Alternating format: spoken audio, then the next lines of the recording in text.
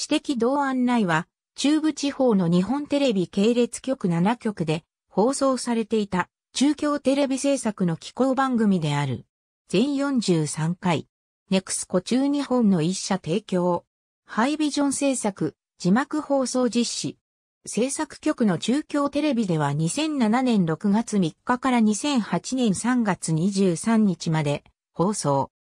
毎回中部地方各地の観光スポットを紹介していたミニ番組でネクスコ中日本管轄の高速道路を使って自動車で行ける場所を毎回の目的地に選んでいた。特定の出演者は登場せず、ロケに同行したカメラマンの目線そのままの映像に、大杉さざ波のナレーションが入るというものだった。なお、放送時間は番組表上では各局ともに5分から6分とされていたが、未弱はネクスコ中日本の30秒 CM を含めても3分半である。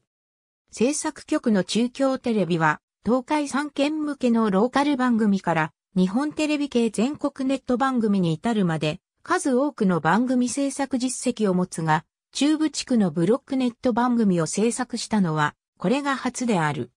ただし、中部地区といってもネクスコ中日本が管轄する自動車道がある地域のみに限られたため、管轄外である新潟県では放送されなかった。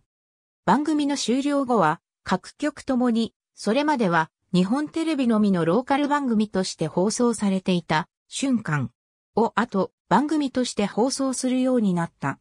これもネクスコ中日本の一社提供番組である。ありがとうございます。